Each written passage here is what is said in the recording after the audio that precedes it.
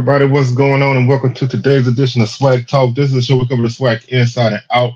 I'm your tour guide around the SWAC see what's coming at you, and we are gonna recap all the action from week two. Pretty entertaining week of football, man. A lot of um, a lot of teams had home openers this week. Had seven home openers this week, so um, pretty much everybody's had a home game except for um, Texas Southern, Alcorn, and Valley.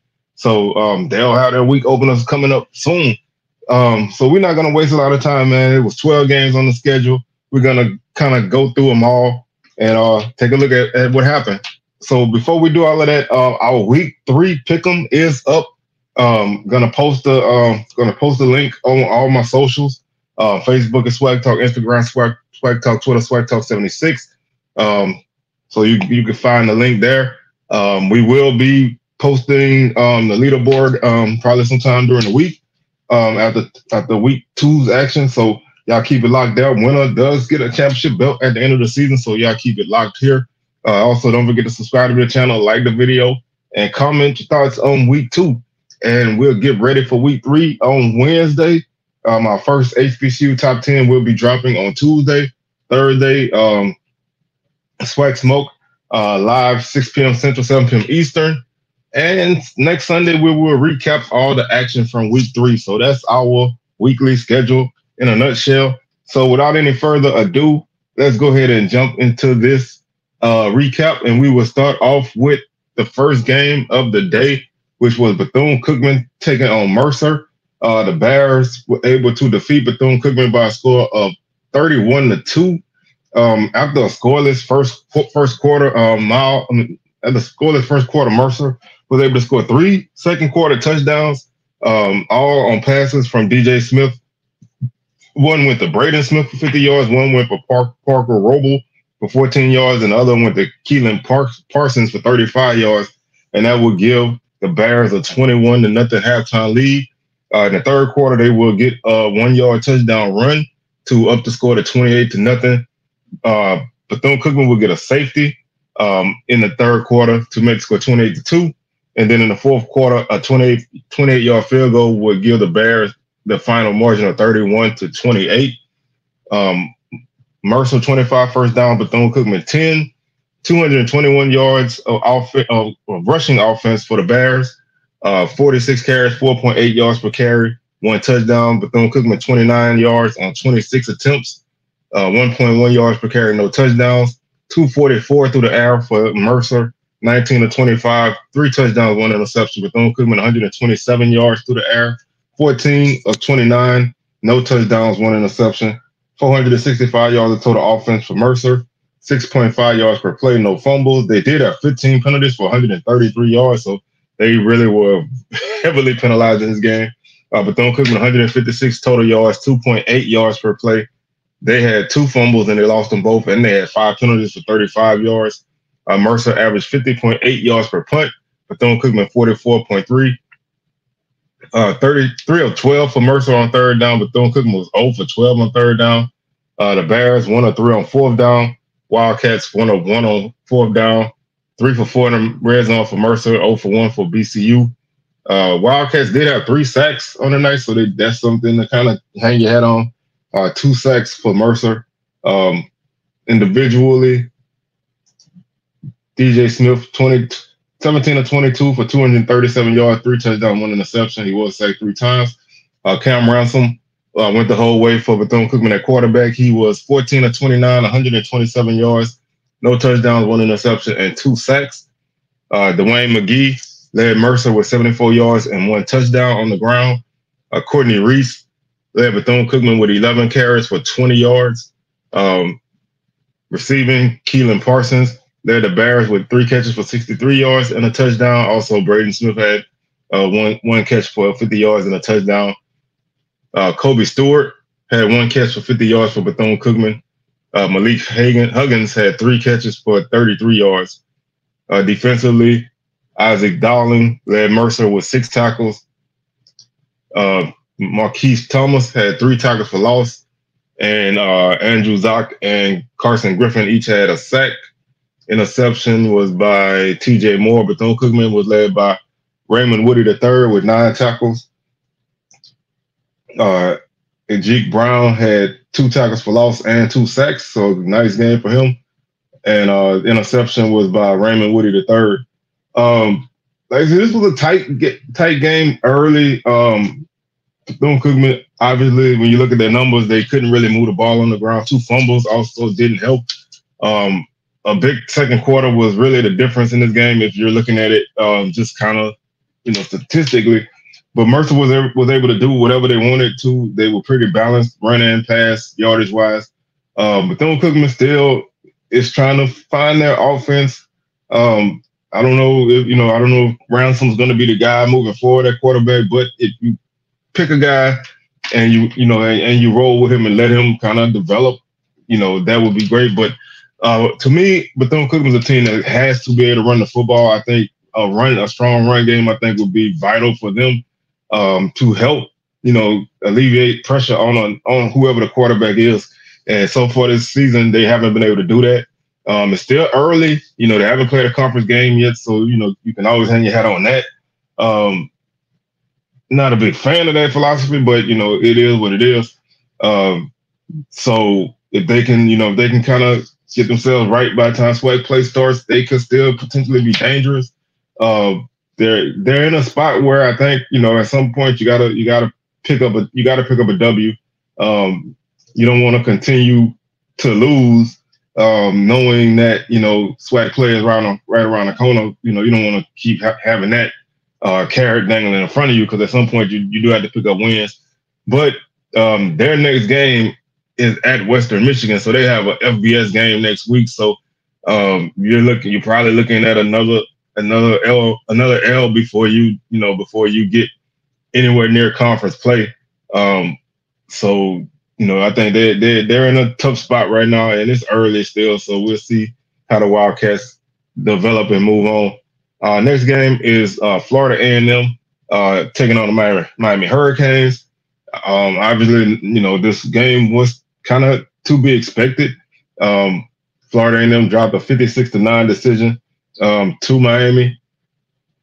Really, you know, like I said, Miami jumped out to a 15 nothing lead. FAMU was able to cut it to 15 to three uh, in the first quarter.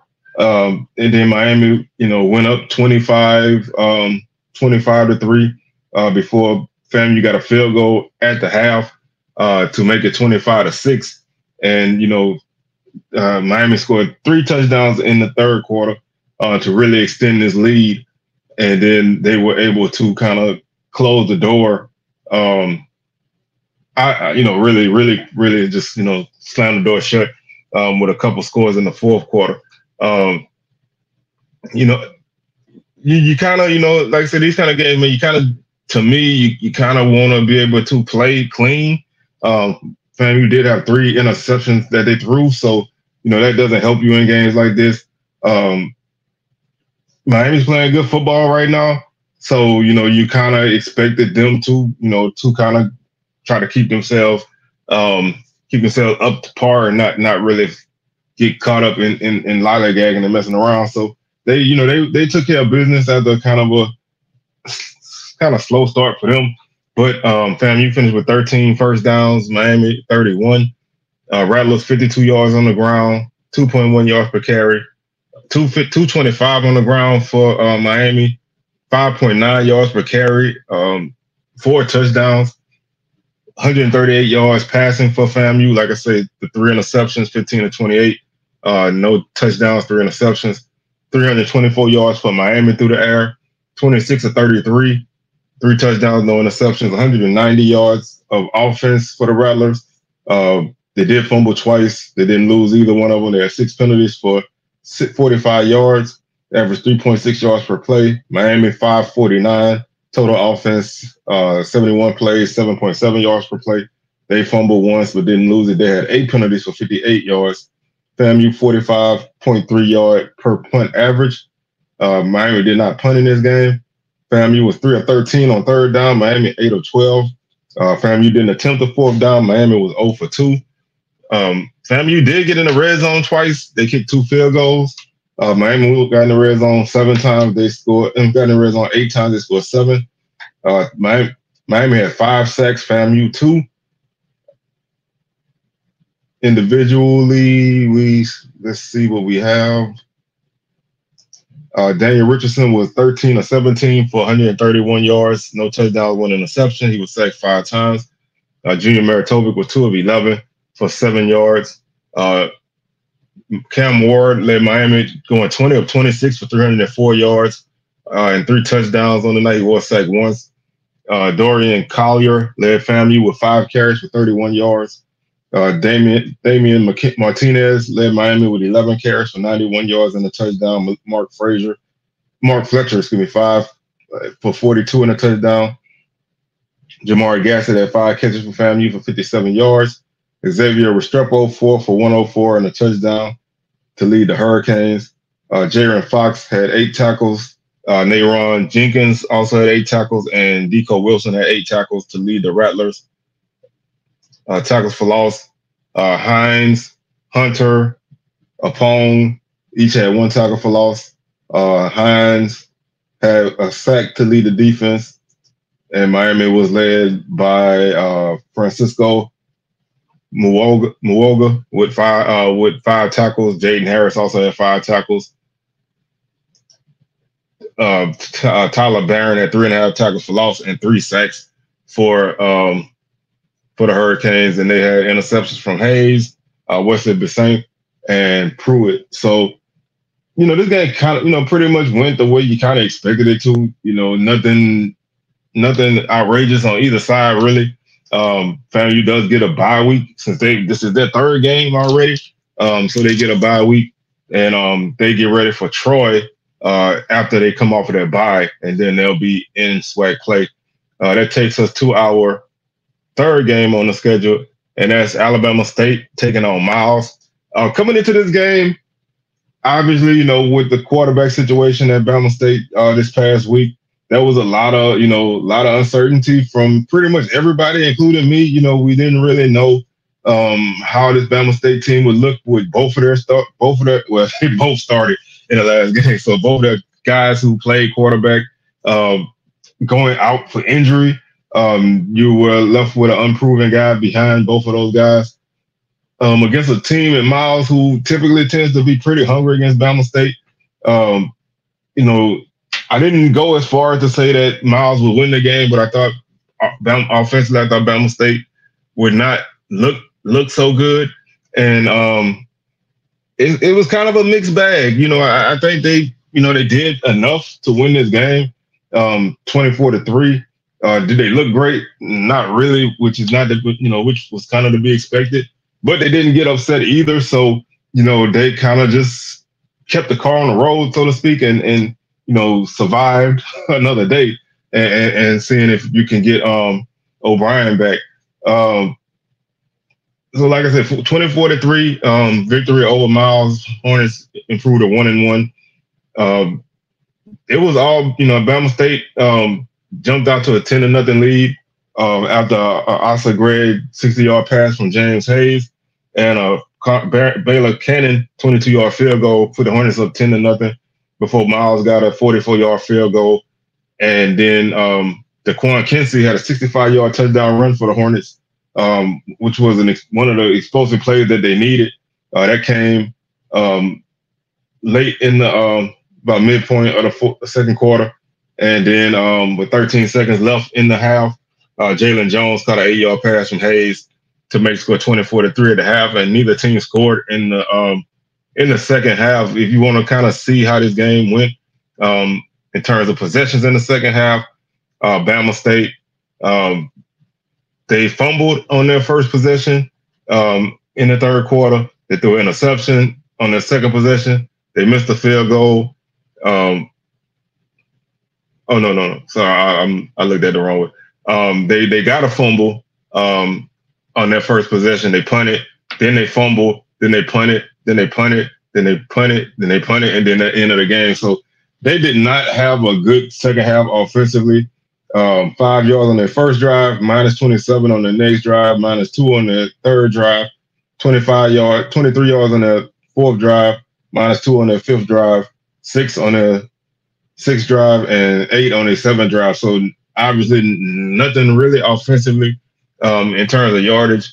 Uh, and that kind of was more what I expected. Like in the first half, um, they they they played what I thought would be their second half um, numbers wise in the first half, and the first half numbers were in the second half. So they just, you know, they really did not do a lot in this game after, you know, after being able to score 24 points in the first half. But the defense uh, did not allow Miles to do much, and that that helped them a lot. Uh, Miles 12 first downs, Bama State 10 first downs, 46 yards rushing for the uh, Golden Bears, uh, 191 yards for the Hornets, 4.7 yards per carry, 1.6 yards per carry for Miles, one touchdown for Bama State, none for Miles.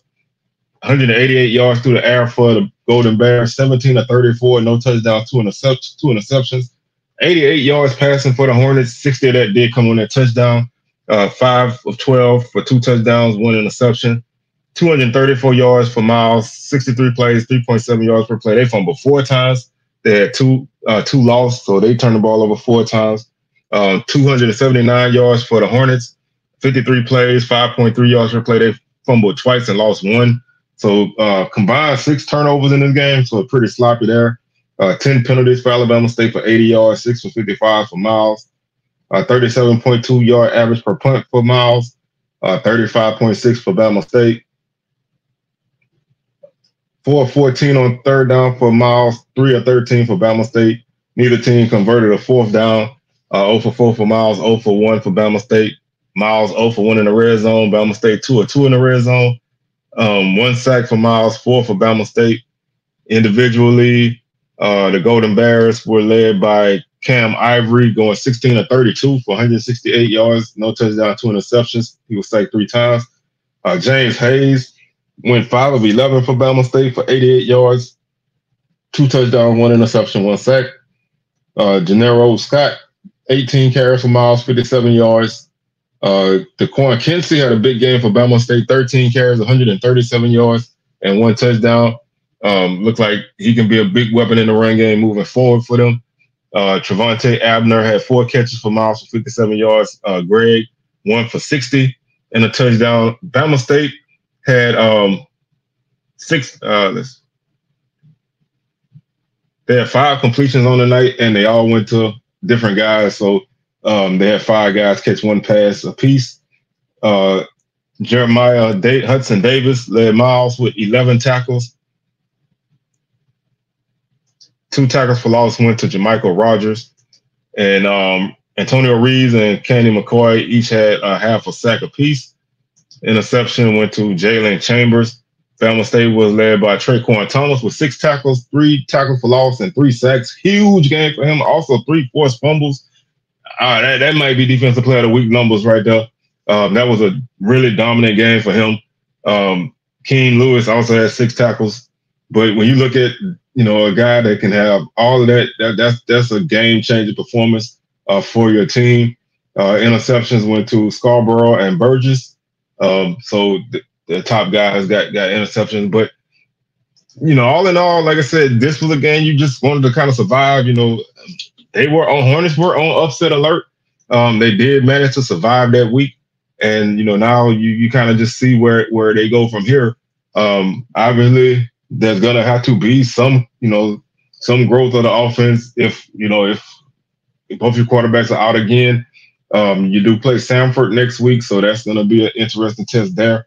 Um, so it is gonna be interesting to see how they juggle these off these non-conference games with you know with the quarterback in- injuries and everything. So that's that's something to kind of monitor as we move forward. Um, be, be really interesting interesting to see how they handle this moving forward. Uh, game number four on the on the date was Alabama A&M defeating Kentucky State 49 to seven. Um, in another SWAC SIAC matchup, there were a ton of those this week. Um, and, and uh, the Bulldogs got their first victory of the season. Like I said, 49 to seven. They jumped out 28 to nothing at, at the half um, on touchdowns from Xavier Langford. Uh, on a one yard run, Duke Miller caught a 38 yard pass from uh, Quad Brown. Jacoby Hewitt caught an eight yard pass from Brown. Uh, Barry White caught a 20 yard pass from Avion Smith.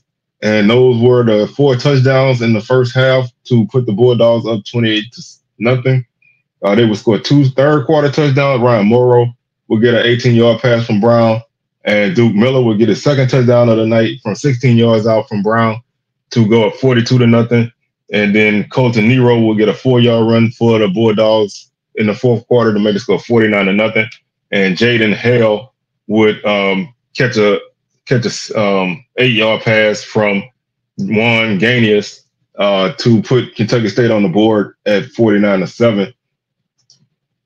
15 first down for the Thoroughbreds, 30 for the Bulldogs, 38 yards rushing for Kentucky State, uh, at 26, 266 yards running for Alabama A&M, 6.7 yards per carry, 1.8 yards per carry for the Thoroughbreds, uh, two touchdowns for the Hornet, two touchdowns for the Bulldogs, no, none for the Thoroughbreds, 151 yards passing for um, Kentucky State, 30, 339, 393 yards for the Bulldogs, 19 or 32 uh, passing for the Thoroughbreds, one touchdown, one interception. 29 or 39 for the Bulldogs, five touchdowns. They did have two interceptions. Um, 189 yards for KSU, 53 plays, 3.6 yards per play. They fumbled three times, lost two. Only two penalties for 10 yards for them. Um, 659 yards for the Bulldogs, 79 plays, 8.3 yards per play, no no fumbles. So they did force three turnovers, although they did commit two. Uh, they had 14 penalties for 139 yards, so a really sloppy game for the Bulldogs in terms of penalties. Uh, they did not punt on the night. Um, 32 yards per punt average for the Thoroughbreds. Uh, Bama A&M 14 of 14 on third down. That's about as efficient as you can get. Uh, five or 12 for um, the Thoroughbreds. Obviously, no fourth down attempts for the Bulldogs. 0 for 1 for the Thoroughbreds. They had two sacks. Bama uh, A&M had three sacks on the night. Individually, the thoroughbreds were led by Juan Gaines, going 16 to 28, passing 144 yards, one touchdown, one interception, say twice. Uh, Brown led the Bulldogs, going 19 or 26 for 278 yards, four touchdowns, one interception. He was sacked once. Um, Jalen Middleton led KSU with 21 yards rushing. Donovan Eaglin, 102 yards on the ground for the Bulldogs on 13 carries, averaged 7.8 yards per carry. Uh, Ryan Morrow had 69 yards on the ground as well. Kale Anderson had six catches for Kentucky State for 74 yards. Duke Miller led A&M with eight catches for 132 yards and two touchdowns. Big game for him. Uh, Trayvon Pope had 11 tackles for Kentucky State. Uh, Isaiah Clay had one and a half tackles for loss. He also had one and a half sacks and Deshaun Tisdale had two interceptions. Uh, Alabama A&M was led by Cortez Andrews with 11 tackles. He also had two and a half tackles for loss and one sack.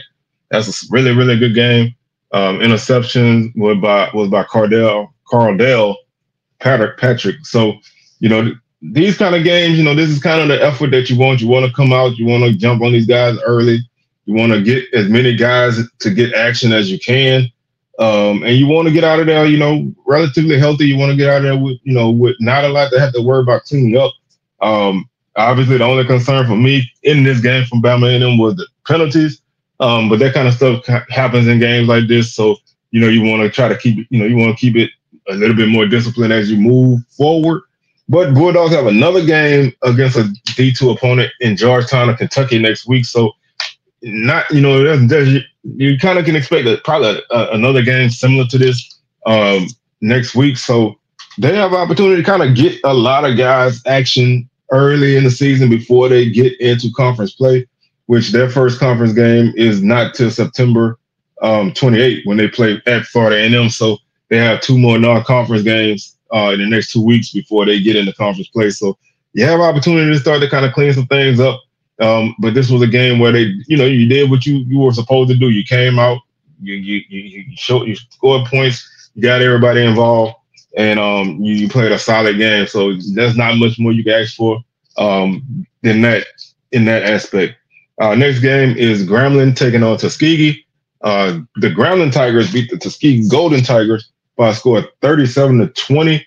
Um, th- this was a game that Grambling basically jumped out to a 37 to 3 halftime lead before um, before they kind of you know let, let off the gas a little bit and and Tuskegee was able to score um, 13 they were able to score uh, 17 points in the second half to kind of make the score look a little bit closer than what it was. Um, but the first half was all Grambling. They had a um, Myles Crawley threw uh, he threw four touchdowns all in the first half. Um, one to uh, Knighton for two yards. Nick Howard caught a nine yard pass from, from Crawley for a touchdown. Tony Phillips had a four yard touchdown reception. And Javon Robinson had a 53 yard touchdown reception. So four TD passes for Myles Crawley um, in the first half. And then they were able to get um, a field goal and a scoop and score on defense to, um, like I said, go into the half up 37 to nothing before Tuskegee opened up, um, before Tuskegee closed the first half with a field goal. Then they got a 13 yard touchdown run in the third quarter. And then in the fourth quarter, they got another field goal, this time 47 yards out, and a 15 yard touchdown pass uh, late in uh, with 35 seconds left in the game. So, you know, they they really, you know, this was one of those games, like I said, Grambling really had this game under control. Um, Tuskegee, I guess you could say, they scored a touchdown early in the third quarter, but the next 10 points came with, with less than five minutes left in the game. So at that point, the game was pretty much over. Um, like I said, you know, you would kind of like to see them score a little bit more, but when you got, you know, you know, things just didn't go that way. But they did what they needed to do. Great first half for them. Um, showed a lot of, you know, a lot of potential there. And Myles Crawley, huge game through the air. Um, I would like to see the, um, you know, just looking at the way that the game went, I would have loved to see Grambling run the ball better in a game like this. I think this is the kind of game where the second half you just kind of lean on these guys um, with the run game when you got a, a lead like that. But Tuskegee, uh, 23 first downs, Grambling 14, 105 yards on the ground for Tuskegee, 30 carries, three and a half yards per carry, one touchdown. Uh, Grambling 62 yards rushing, uh, 2.4 yards per carry, no touchdowns. 275 yards through the air for Tuskegee, 21 to 39. They had one touchdown, two interceptions. Grambling 322 yards through the air, 18 of 30, um, four touchdowns, no interceptions. 380 yards of offense for Tuskegee uh, 69 plays, 5.5 yards per play. They fumbled once and lost it. So they had three turnovers on the night, five penalties for 45 yards, uh, 384 yards for Grambling. Total offense, 56 plays, 6.9 yards per play. Um, they had three fumbles but didn't lose any, and they had 16 penalties, 166 yards. That you know, regardless of anything, that's that you know those numbers always just don't look good.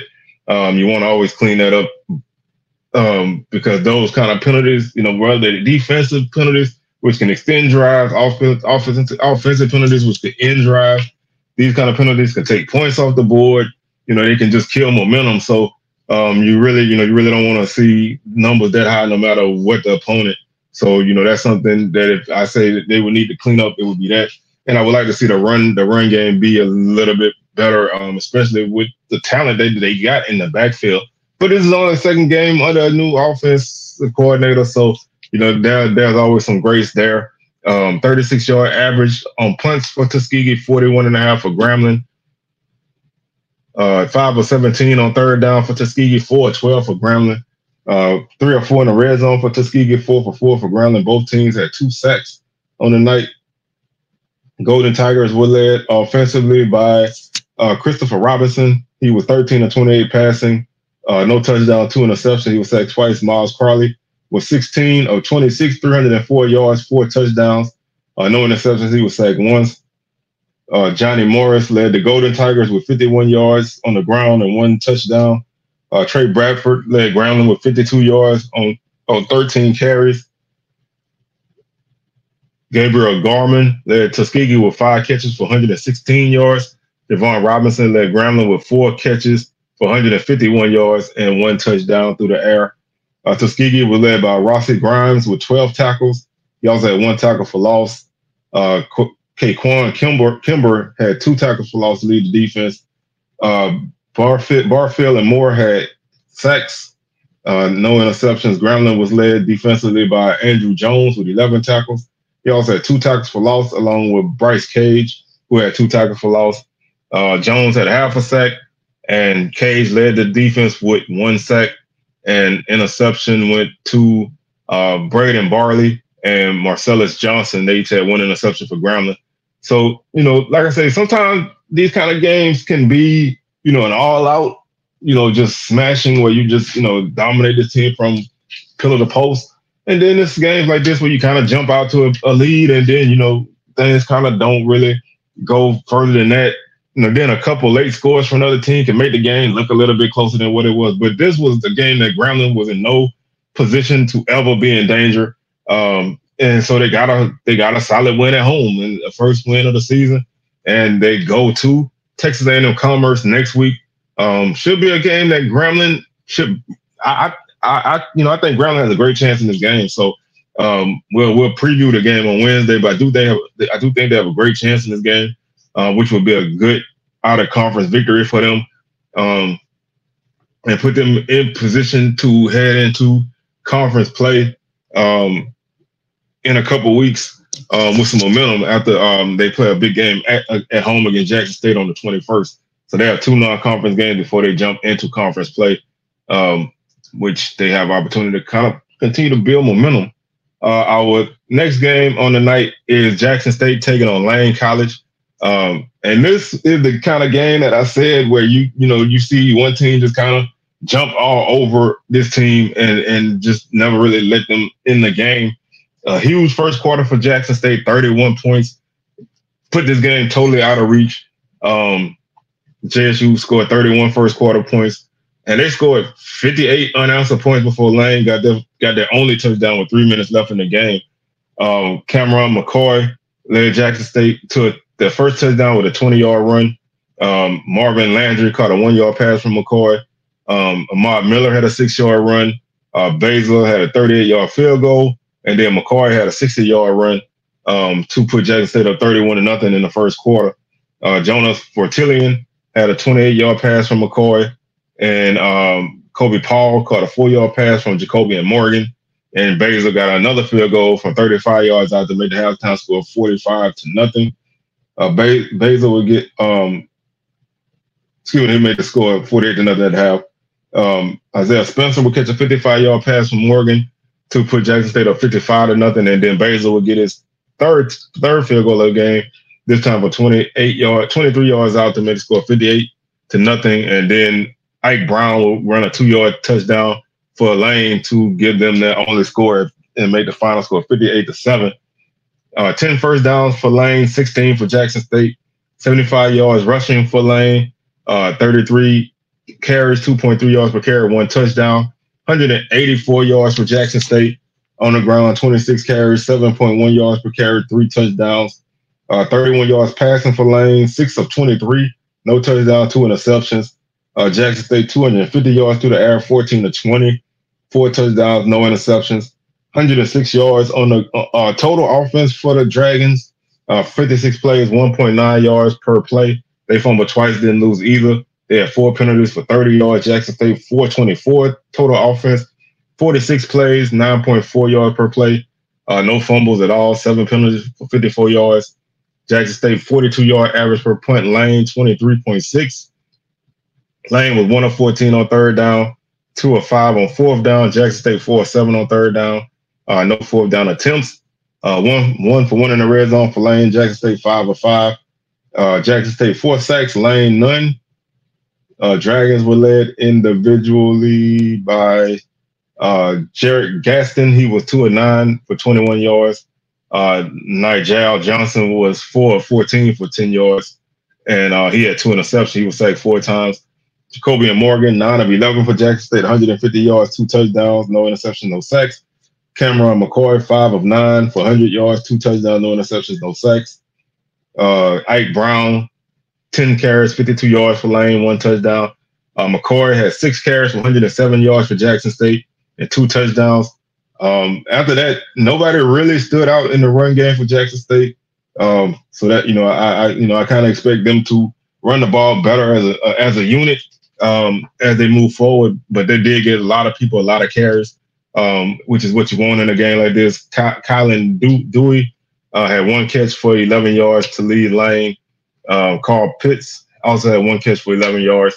Isaiah Spencer, four for 107 and one touchdown.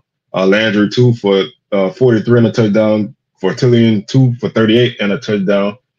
Uh, Jeremiah Brown led lane with six tackles Um, William Miller had three tackles for loss, no sacks, and no interceptions. Jackson State was led by Jeremiah Williams with five tackles, Joshua Nobles and True Thompson each had five tackles apiece. Um, Thompson and Ward each had two tackles for loss. Uh, Pulliam had one and a half sacks to lead the defense, and um, Guthrie and Hawkins had interceptions uh, for the Tigers. They have a couple big games in the next two weeks. Um, at at home against Southern and at Grambling, both games are not are not SWAC games. So you know they have a couple big big games that are are, are SWAC games, but they don't count in the standings.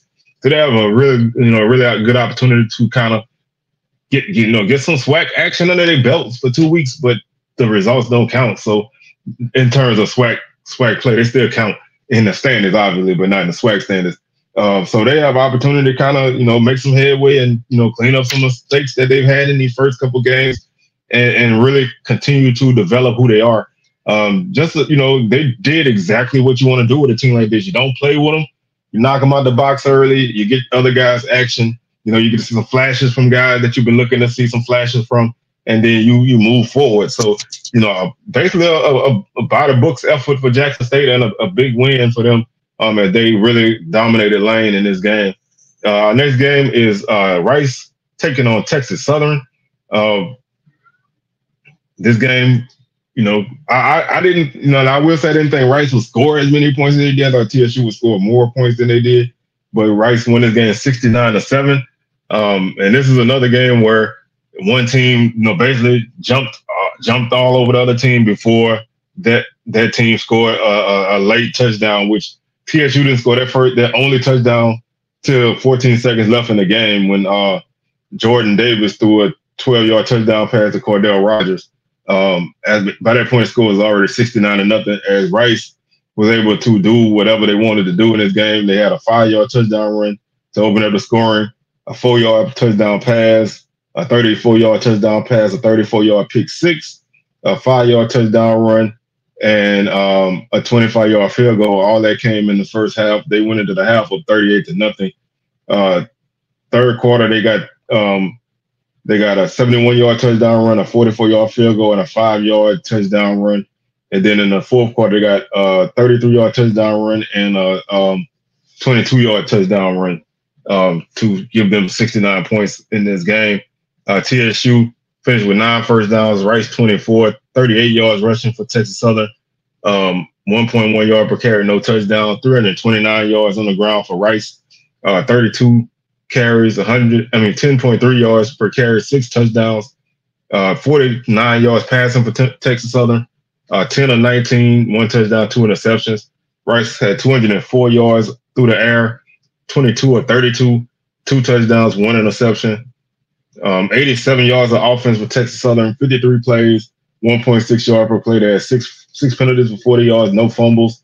Rice 533 total offense, 64 plays, 8.3 yard per play, no uh, fumbles, eight penalties for 72 yards. Rice punted once for 53 yards. TSU 28.1 yards per punt. They punted 10 times.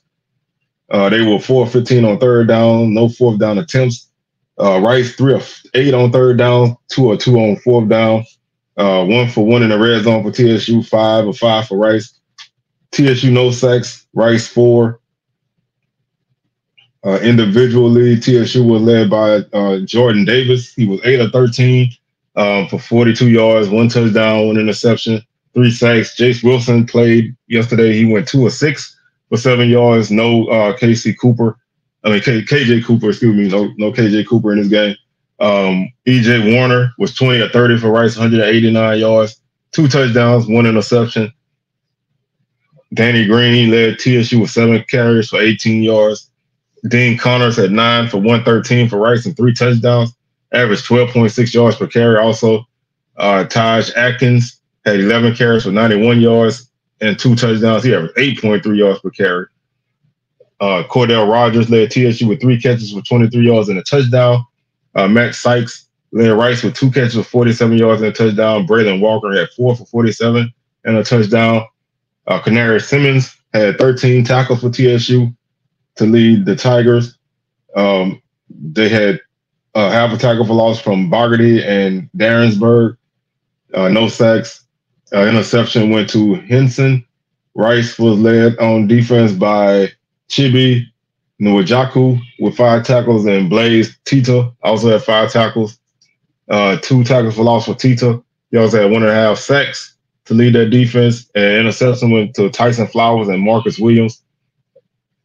You know, this is a you know you got flush this game. This game, I mean, not a lot to take from a game like this. Um, you just did not play well on either side of the ball, uh, especially coming off of a big victory. I never, you know, I didn't come into this game thinking TSU would win this game or even be close, but I thought they would have a better effort than this. I thought they would hold Rice down a little bit more. Um, Rice really took out a lot of frustrations they had from last week on TSU, and so you know, not like I said, not a lot to take from a game like this. So you look at uh, where the Tigers go from here. Um, they are off next week. So they have a chance to kind of clean some things up before they come back the following week uh, at Lamar on the 21st. Um, and then they close out the month at, at home against Jackson State uh, in back in SWAC Place. So they, you know, they kind of had, you know, a tale of two weeks, you know, a, a great week last week, big win. Um, and then you turn around the following week and just not really look good at all. So I, I, think you, you know, I think you just flush this game, man. Take what you can from it, and then just, you know, move on. Use this bye week to kind of refocus and regroup, um, because you have to kind of find some some some of that rhythm that you had from previous weeks. Um, the next game we have is Southern against Savannah State. Um, where I said in the previous two, uh, previous three uh, four games against SIAC opponents, uh, that team got off to a great start, and you know they either held on, you know, held them off, or they continued to, you know, throttle them. Um, this was a game that, on one hand, it it it looked a lot closer than it probably had any right to be, um, and then on the other hand, it really wasn't as close as it looked. Um, when you look at defensively for Southern, I thought they played a really good game. Uh, they did give up one huge, huge play, uh, which was kind of a broken play and they had a blocked field goal for the second week in a row. Um, offensively was where the issue was for Southern. Um, really slow start. Um, just not, you know, just not a, a great offensive effort early. Uh, made a quarterback change, and then things kind of took off for Southern. Uh, Savannah State, other than that one long touchdown run they had and a field goal, they never really did anything offensively. I thought the defense played pretty salty until they got tired, which is to be expected in a game where you, you don't really have the ball much. Um, and Southern won this game 42 to 10. Uh, Southern actually scored first on a 44 yard field goal. Then uh, then Savannah State got an 81 yard touchdown run on a like on a very broken play. Um, the quarterback and running back had a miscommunication. Um, the quarterback kind of ran into a couple people in the backfield, bounced off, angled toward the sideline. I think Southern thought he was going to run out of bounds, but he turned, he cut it upfield and took it down the sideline for an 81 yard touchdown. And that was basically Savannah State's offense for the rest of the night. Uh, Southern would then get um, two field goals to take the lead at nine to seven, one from 40, uh, 38 yards and one from 49 yards. And then they would score their first touchdown um, of the night with 110 left in the first half um, to go into the half of 16 to 7. After a Southern field goal got blocked, uh, Savannah State got a 33 yard field goal to make it score 16 to 10. And then Southern would score the remaining points um, with a 31 yard touchdown pass, um, a four yard touchdown run, a 33 yard pass, and a one yard run uh, to make the final score 42 to 10.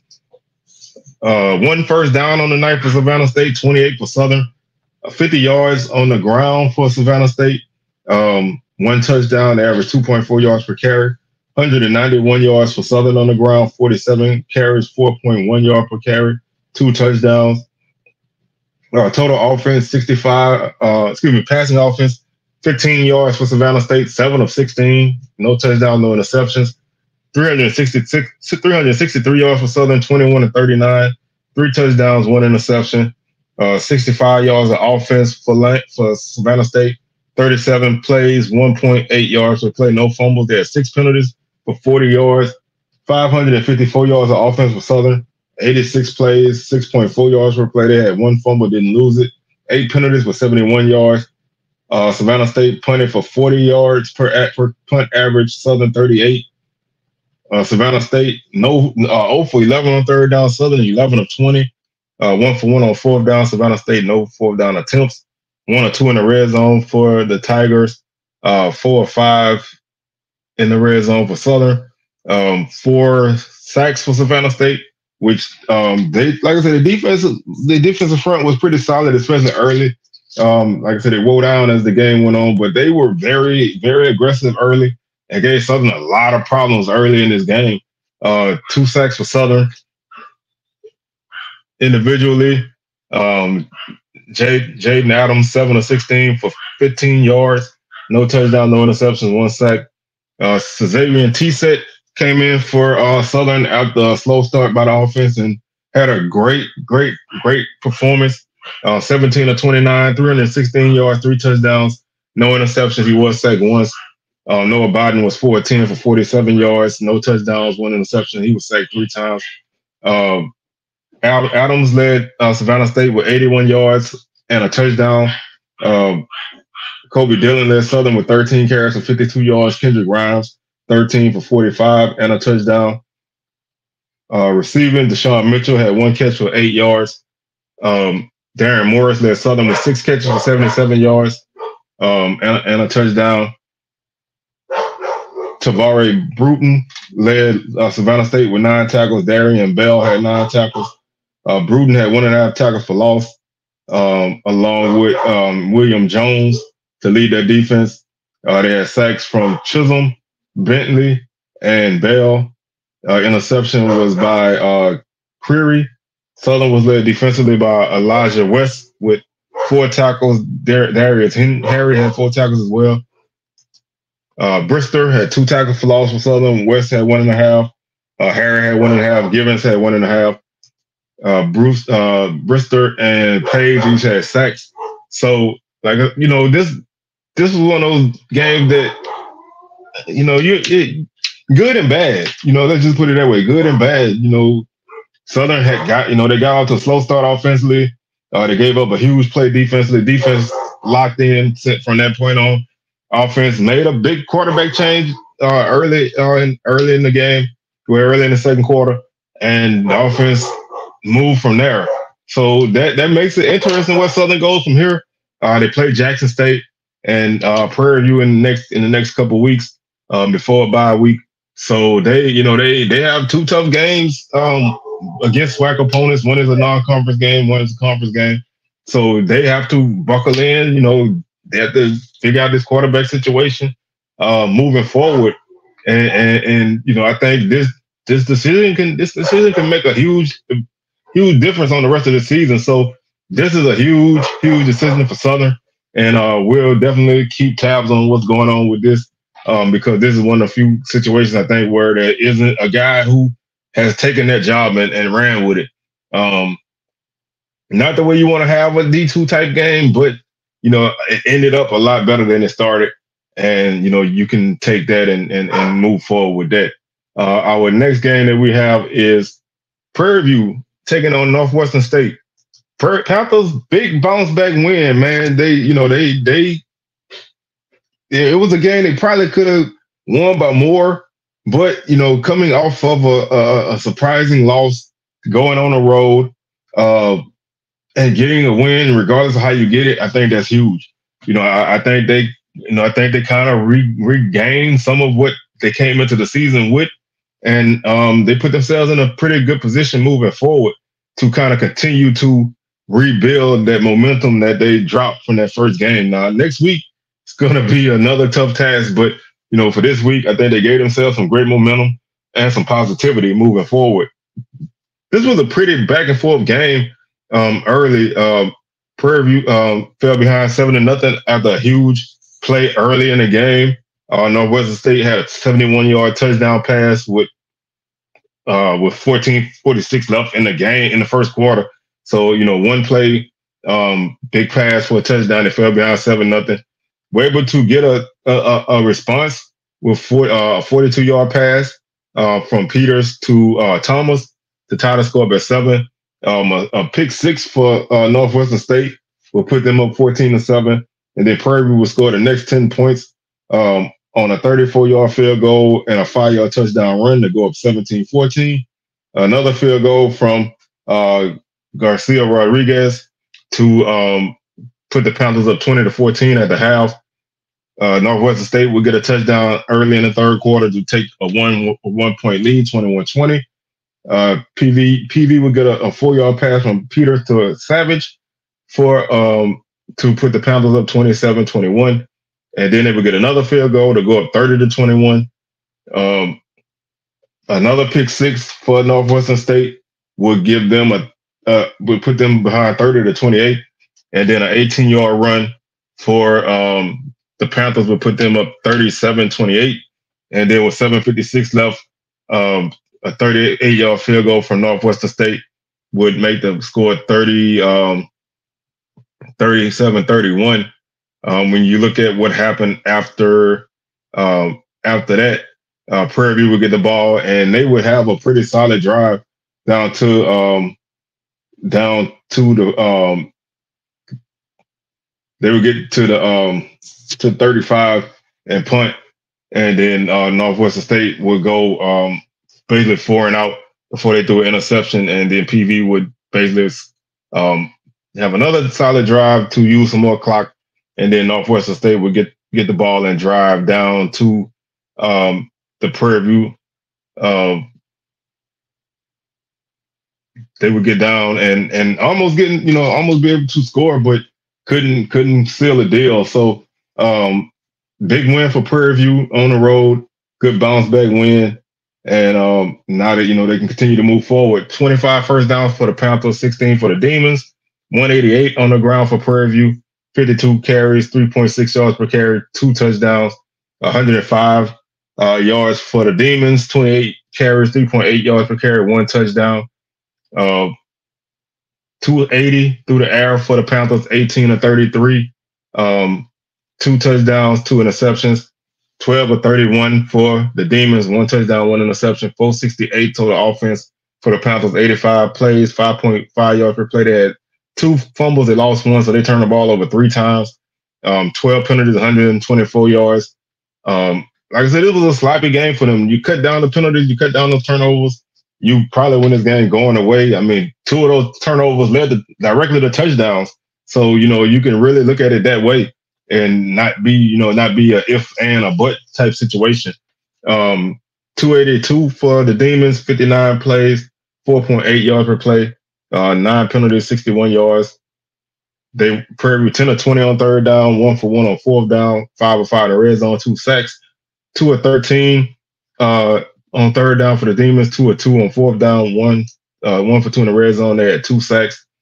Uh, Prairie View was led by Cam Peters. He played the whole game. 18 to 33, two touchdowns, two interceptions, two sacks. Uh, JT Fayard, 12 or 31 for the Demons, 177 yards, one touchdown, one interception, two sacks. Uh, Connor Wisham, 22 carries, 83 yards for the Panthers, one touchdown. Uh, McDowell, 12 for 53 and a touchdown. Kenneth Lacey, nine for 75 for the Demons and one touchdown. Uh, Shamar Savage, six of six catches, 133 yards and one touchdown. Uh, Miles Kit Denton, three catches, 103 yards and a touchdown. Uh, Javen Jackson led the Panthers with seven tackles. Um, they had four guys with a tackle for loss apiece, and uh, two players with one sack. Interception went to Jones. Northwestern State was led by Blake Gother with um, 23 tackles. That's a crazy game for him. Uh, two tackles for loss, two sacks, one forced fumble. Uh, interceptions went to Brown and Rome. And like I said, just a, a big win for the Panthers. They play Michigan State next week and Southern the week after that. So um, you want to just kind of do the best you can to keep your momentum going. Um, because you know you, you don't want to drop too much momentum in that in that Michigan State game, knowing you got a conference game in the following week. Um, got a couple games left. We're gonna run through these last few games pretty quickly. Um, Valley battled against Lamar, man. They they they lost the game 28-14. They were actually down 21 to 21-14 in the third quarter. Um, into deep into the fourth quarter before um, Lamar basically slammed the door with a, a, a one yard touchdown run with a minute and four left in the game. Um, great, you know, great battle for Valley. Um, thought they would, you know, really get ran out of the stadium in this game, but they hung tight. Um, 21st down for the Delta Devils, 24 for the Cardinals. Uh, Valley just could not run the ball in this game. Only 72 yards on the ground, 36 carries, two yards per carry. They gave up 222 on the ground, uh, 37 carries, six yards per carry uh, for the Cardinals. 208 through the air for Valley, 21 to 36, two, t- two touchdowns, two interceptions. 216 through the air for Lamar, 12 or 30, two touchdowns, one interception, 280 yards for Valley, uh, 72 carries, 3.9 yards per carry. Had two in the two fumbles, didn't lose any, six penalties, 54 yards, 438 total offense for the Cardinals, 67 plays, six and a half yards per play, no fumbles. They had 18 penalties for 157 yards. Uh, Valley, 7 of 17 on third down, 4 of 12 for Lamar, 2 of 4 uh, for Valley on fourth down, 2 for 2 for Lamar, 2 or 4 in the red zone for Valley, 3 or 3 for Lamar. Both teams had multiple sacks, Valley with 3, Lamar with 2. Delta Devils were led by um, Jaden Sisk. He was 18 of 31 for 171 yards, one touchdown, one interception, two sacks. Uh, Tajarian Williams did throw a touchdown in this game. Uh, Robert Coleman, 12 of 30 for Lamar for 216 yards, two touchdowns, one interception. Um, Williams led Valley with 44 yards rushing. Uh, Kalen Griffin led Lamar with 197 yards on the night and two touchdowns averaged 8.6 yards per carry. Uh, Nathan Rembert led Valley with nine catches for 90, 95 yards. Big game for him. Um, Ja'Cory Hyder led Lamar with four catches, 117 yards and a touchdown. Jordan Montgomery had eight tackles to lead Valley. Um, Donovan Parham had two and a half tackles for loss and two sacks to lead the defense. And Eric Campbell had an interception for Valley. Uh, Braden Faulkner led um, led Lamar with nine tackles. He also had one tackle for loss. And um, they had two interceptions from uh, Lewis and Stevens. So, like I said, Valley played a pretty solid game here. Um, they get Murray State next week, and then um, and then Nicholls State. So they they they close out their non-conference slate with two more road games before they come home on the 28th to host Alcorn. Um, and speaking of the Braves, they they went to Nashville to take on um to take on Vanderbilt, and again, you know, just not a not a great offensive effort for Alcorn. They dropped this game uh 55 to to nothing. Um they they uh continue to kind of struggle. You know, they they have to kind of find their way. Um these two FBS games have not been not been great for the Braves. Um, as, as, like I said, as Vandy jumped out to a 27 nothing first half lead um, before they they scored um, 28 points in the in the second half to to basically just shut this thing down. Uh, Alcorn, not a great offensive night, only 71 yards of offense, um, 8 or 16 passing, two turnovers there through the air, um, gave up 342 yards. Uh, total offense Vandy ran the ball for 242. They only threw the ball 14 times. They had 11 uh, yards through the 100. They had 100 yards through the air. Uh, 11 or 14. Um, they did have one touchdown, no turnovers for the for the uh, Commodores. Six and a half uh, yards per per play for them. They did have nine penalties for 90 yards. Um, Alcorn went one of 11 on third down. Um, they did have two sacks as a defense. Um, never got in the red zone. Uh, Vandy got in the red zone five times and scored all five times. The search for, you know, the search for the the signal caller continues. Um, Xavier Vaughn was five and nine for 20, 20 yards to lead Alcorn. Um, Cameron Stewart led them with uh, 10 carries for 29 yards. And Travarius Griffin had two catches for 14 yards. So they have to, you know, you you know, you can say they play two FBS games, but they just haven't really looked good offensively. Um, and they have to find a way to make make that better. They play Edward Waters um, on Saturday, so you go from one extreme probably to the to the next, um, and then they play McNeese the following week. So you probably won't really get a full idea of what Alcorn is until until the um until the until the twenty first when they go to McNeese. So just been a, a, a brutal start for Alcorn. Like I said, you know, you kind of, you know, you, you, didn't really expect, you know, wins in these two games, but you kind of thought the offense would look better, especially, you know, a, as you move forward Um, they still have a lot of a lot of questions to answer, and uh, we'll see if they can. You know, we, we we'll see if they can get there. Um, but right now, it's just not it's just not looking looking great. Um, our last game of the night, and you know, salute to salute to Pine Bluff, man. They they they they did what you want to do in a game like this, man. They came out, they scored points, and they they had a great time. Um, 73 to nothing over Arkansas Baptist. Um, went into the half up um, 52 to nothing. Uh, so they were able to jump all over these guys. Um, O'Shawn uh, Ross had three touchdowns on the night. Uh, Jonas Davis had a couple touchdowns, and they, you know, they they really, you know, like I said, they really jumped all over these guys and did what you're supposed to do against an overmatched opponent. Um, 25 first downs for them, 320 on the ground, average 10 yards a carry with eight touchdowns, uh, 350 through the air for, for the Golden Lions. Um, only gave up 161 yards of offense, had 670. Um, this, regardless of the opponent, this is one of the best Pine Bluff performances offensively or defensively that they've had in quite some time. Uh, they they they forced six turnovers. Um, only had one. So, like I said, they dominated this game. Um, they finished the night with um, with two sacks and six or seven in the red zone.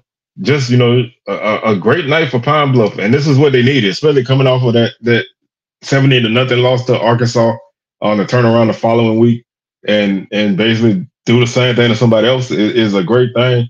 Uh, Makai Hagens, fifteen or twenty two, three hundred fifty yards, two touchdowns. Um, great game for him. Like I said, O'Shawn Ross, five carries, 100 yards, three touchdowns. Um, Javon, Giovanni Gibson, six for 172 and a touchdown. Uh, defensively, uh, Jaden Kelly led the team with six tackles. Um, Ananias Lukeman had two and a half tackles for loss and one and a half sacks. And Amari, Amarion Mingo had two interceptions. So they did exactly what you want to do in a game like this, man. You want to come out and you don't want to play with these guys. You know, you want to knock them out and get it over quick and and, and move on to, to to your next game, which for them is a um is at is in Memphis against Tennessee State next Saturday in the Southern Heritage Classic. So they have that game, and then they play um they play Central Arkansas the following week um before they before they get into conference play. So they have a couple more games uh, against FCS opponents. So you you kind of got to put this one away and get ready for a tough matchup uh, the following week and and um, find out really where you are. But you can't discount this kind of game for a team like Pine Bluff. They needed this kind of effort, um, regardless of who the opponent was. They needed this. Um, for it, for other teams, I would look at it a different way. But for them, they need positivity and they needed to do this so um, this was a very, very much needed win um, in this way for the Golden Lions. And that would do it for week two, man. 11, 12 games on the schedule for week two. We got nine games on the schedule for, for week three. And just quickly, uh, Prairie View is at Michigan State. Edward Waters is at, is at Alcorn. Bethune-Cookman is at Western Michigan. Georgetown, Kentucky is at Alabama A&M. Valley is at Murray State. Pine Bluff is at Tennessee State, well, against Tennessee State in Memphis. Southern is at Jackson State, Grambling is at Texas A&M Commerce, and Alabama A&M is at Samford. So four, got nine games on the schedule next week. So you know, not as packed, and and, and those numbers will start to shrink as we get into conference play. So with that being said, man, I'm your tour guide around the Spike Sewell signing out, and I will catch y'all on the rebound. Peace.